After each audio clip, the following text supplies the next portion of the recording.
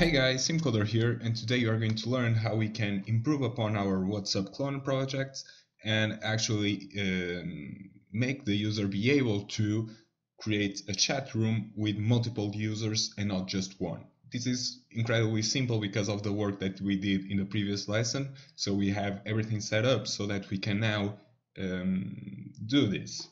So let's jump right into the project.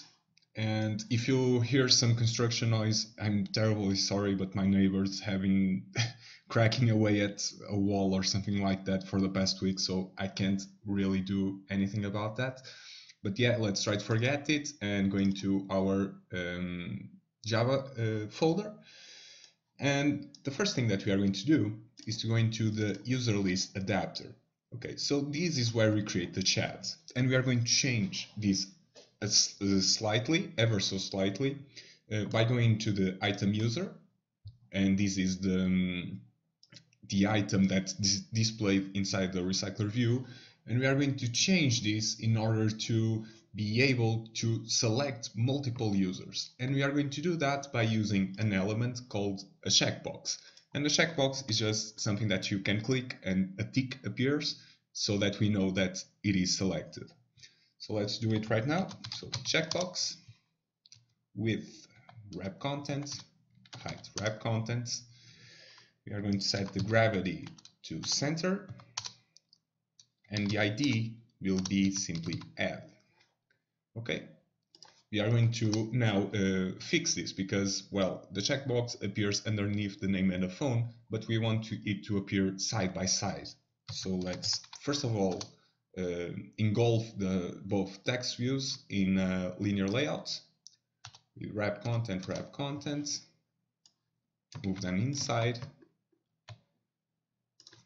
The orientation will be horizontal in the case of these uh, two text views. Uh, vertical, yet, I'm sorry. In the case of these uh, two text views, and the orientation of the main linear layout will be horizontal. Okay, now we want for this checkbox to appear in the rightmost corner of the, the phone.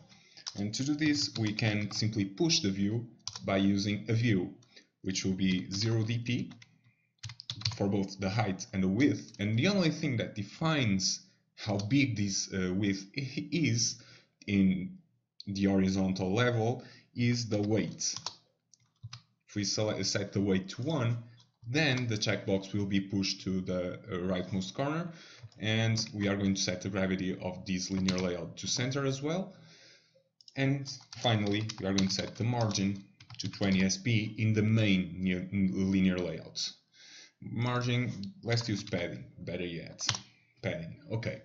And it appears uh, right in the center of the screen here, but don't worry, when it gets selected into a recycler view, then it will shrink into uh, the correct size.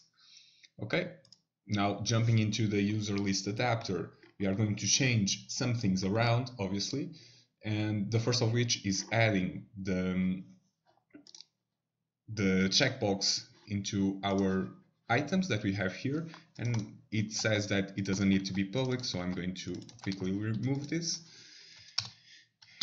and say checkbox and add and an add equals to view dot find view by id dot uh, r dot id dot add okay as simple as that. And now we are set. Okay, the first thing that we are going to do is to remove this holder on click listener because right now we aren't going to create a chat the second the user clicks any of the the, the items in the recycler view. Uh, we want simply to change a boolean that says that the user is uh, going to be selected for that chat room. And for that, we need to change the user object a bit. So we must add a boolean here private boolean and uh, we are going to call it let me just check selected I believe yeah selected keep it simple equals to false and my keyboard simply changed the language. That's why those strange characters appeared. Okay. And now we are going to simply create the getter and the setter for uh, this boolean. Set selected. And in the Android Studio we just need to type S and the set selected will appear and G and the get selected will appear because it already assumes that you want to do that. Okay, so get selected, set selected, that's it. We don't need to do anything else in the user object. Now all that we have to do is create a listener that will change that variable anytime the user presses uh, the user uh, that one the user wants in their chat room. Okay, so that's really simple because uh, the checkbox item uh, view has um, a listener that's called set on check change listener. And this will be called anytime the user uh, clicks on the checkbox. So it is exactly what we need. And in here we simply say user list dot get holder dot get adapter position dot set selected is checked and this boolean will be true if the user changes it into a selected and otherwise if the user removes a selected. Okay? So it is really simple as you can see. I'm going to try and collapse this okay to make it look better. And now for the user list adapter we are done. But we are not going to close this up yet because we must go into the find user activity and uh, add a button here and that's because um, we aren't adding whenever the user clicks uh, an item in the recycler view. So we must have a button to know when the user wants to uh, close that all up and create a chat room with the users that he clicked on. So it is really simple, simply going to the activity find user. I'm going to open up the preview so that you guys can see what I'm doing. Button and it will be match parent wrap contents. The ID, I'm going to call it create. And that for the text, we are simply going to say create chat room. Okay, as easy as that. We must set an orientation, don't forget it. We are going to say it is vertical, and that's it. We can close off the activity find user. So now in the uh, onCreate method of the find user activity, we are going to uh, simply call the button to the find view by ID and then uh, call a function which will be the create chat. Okay, so let's come in here and first of all say uh, it doesn't actually have to be a global variable, so I'm going to do it right here. So button and create equals to find view by ID dot create. Import class, don't forget that. I'll say m create dot set on click listener new on click listener and in here I'm going to call create chat which isn't yet here but I'm going to to move it uh, into this activity right away so let's go into the users uh, user list adapter simply grab this create chat because we aren't calling it in here right now uh, there's no problem with it. We can simply remove it and paste it here. Okay? Uh, now one thing is we no longer need the position because we are going to loop through the array list the user list that we have in here.